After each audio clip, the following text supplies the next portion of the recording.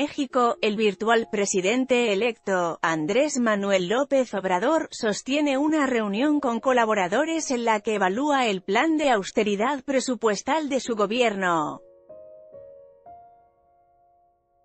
También puedes leer, ajustaría a MLO 6.113 plazas para aplicar su plan austero Olga Sánchez Cordero, perfilada como secretaria de Gobernación, y Zoe Robledo, quien sería subsecretario de esa dependencia, arribaron al encuentro privado realizado en el despacho de López Obrador en la colonia Roma.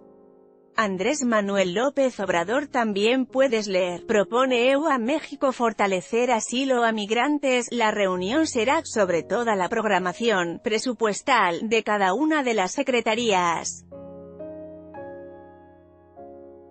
Toda la reorganización, reestructura de las secretarías confirmó Sánchez Cordero. Es todo el planteamiento sobre el plan de austeridad, la reestructura, es un asunto muy general todavía, resumió por su parte Robledo.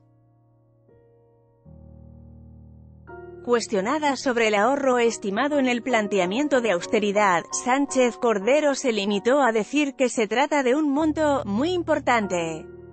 Esta nota incluye información de reforma en esta nota, plan de gobierno AML o plan de austeridad.